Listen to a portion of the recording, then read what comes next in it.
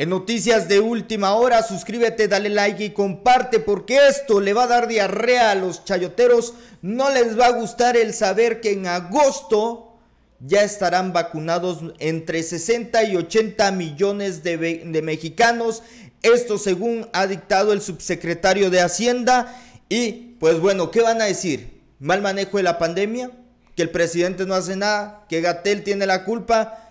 Por favor, seamos serios en el análisis. El presidente de la República está dando resultados. Claro, también hay que poner de nuestra parte y hay que tomar en cuenta que somos un total de población de más de 130 millones de mexicanos. Así que eh, con esto lo que se busca es llegar a la inmunidad de rebaño. Mi nombre es Iber Alejandro, reportando para Contrapeso Digital. Nos vemos hasta la próxima.